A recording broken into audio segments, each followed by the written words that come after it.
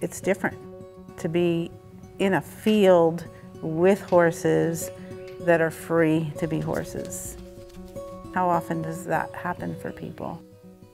They're a thousand plus pound animal and you're being asked to go into their space.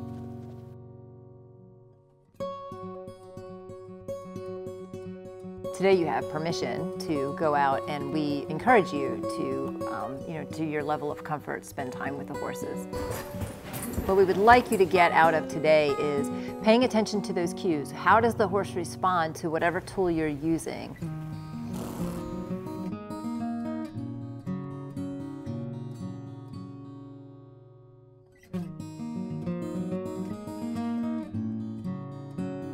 Sometimes we have clients who what we call are therapy savvy.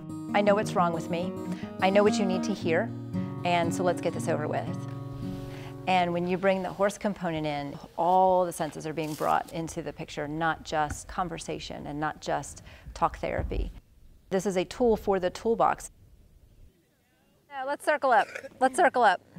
What did you see? What did you experience? I feel a sense of importance for building trust with them. So I try and go from the side and like approach slowly. I want to pause for a second there. Apply that to working with a client. Apply that to somebody mm -hmm. in your helping uh, helping profession. I feel like that pairs with meeting a client where they are. Um, so if they are not ready to be talking with you or um, come out with their problems, then they're going to stay, keep their distance. But once they're ready, they'll take the first step forward. There's something really cool about working with an animal that's not trained to respond to you, but is still so gentle. They feel soulful. Having to be okay with like, this animal may or may not come up to you. And also if they don't come up to you, that I know that that doesn't mean they don't like you, but I think as a human, there's a lot of like, I want them to like me. I want the animal to interact with me.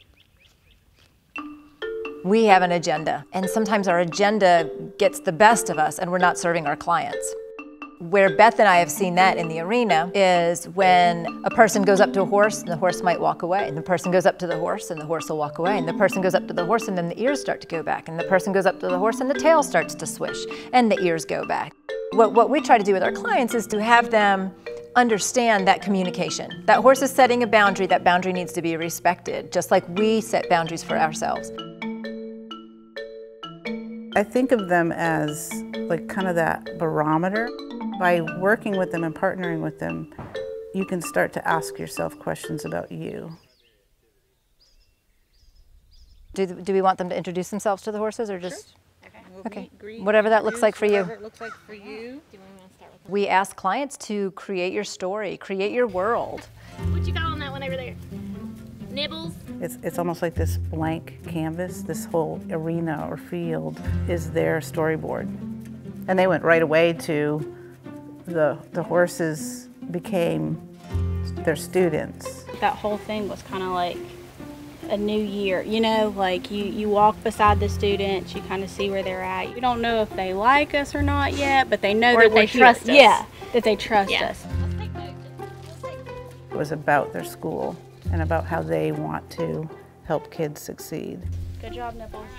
All right, so now we got to get Jack. Bud, are you hungry?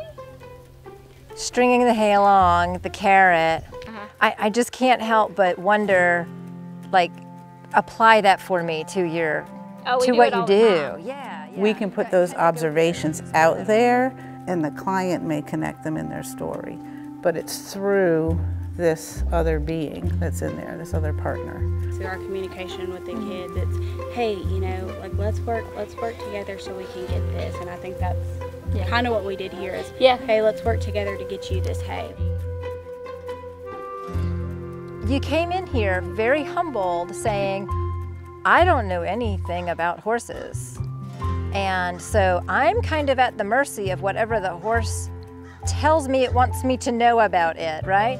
And that's exactly the way it is with students and clients and other clientele that we work with. They are going to be the expert of their own experience. Take some time to, to say goodbye to your students. If they just heard about it through a book or, or read an article, they wouldn't have a clue. Now they've come out, they, they've experienced it. 10 years down the road, I'm going to remember, hey, there was something. I have this, this client that really needs something different. It's just not working for them anymore. It is hard to convey what it is that's happening in this, in this type of work. I think that's the hardest part. But if I can get you to the farm, it teaches itself.